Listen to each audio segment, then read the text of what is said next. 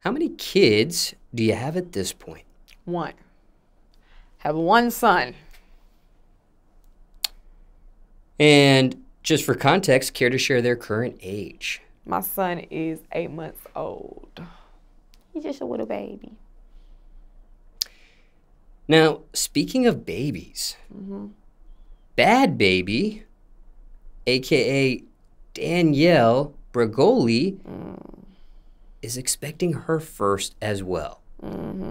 Gender currently unknown with Le Vaughn. Now, circumstances could be different for everyone, Right. but if she's watching or listening to this interview, anything you want to say to a first time mother? Just take care of yourself. Enjoy your sleep, shit. Now that you're pregnant, make sure you get every ounce of sleep that you can. Enjoy your last moments of being alone because you'll never fucking be alone again. So I say that just enjoy your last moments of being yourself because you're going to turn into a whole new person when you become a mom. Anything else in regards to a new mom? Mm, no, just enjoy yourself because everything's about to fucking change. And just for transparency, do you know her personally by any chance? No, catch me outside? Hell no. Now, what about baby names? For her? No, for you Oh. and your son. Can you take the audience into that decision making? Well, um, he is a third. I always kind of knew if I had a son that I would let their father choose the direction of their name.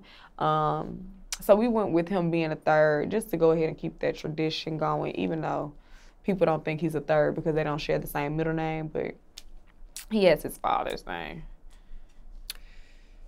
And what's that really like?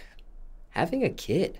That shit is unexplainable. Like I used to watch so many people talk about having children, and it's nothing that nobody can prepare you for. It's nothing that nobody could fucking say. You're just gonna have to feel it. It's just like having shit a mini you attached to you. You always have something to worry about now, somebody to worry about, somebody to care for. It's a great feeling though. Being a mom, like you're a superwoman. It gives you a new level of confidence.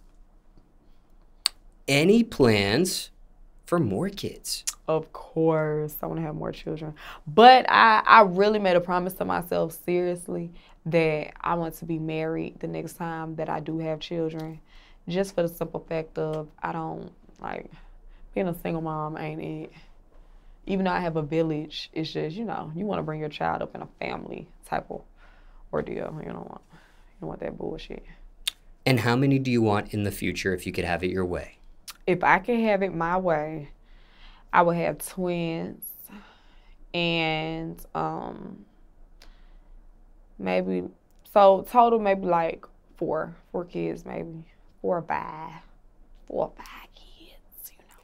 Twin boys, twin girls, one of each? Uh, one of each. One of each or a twin um honestly one of each, a girl and a boy.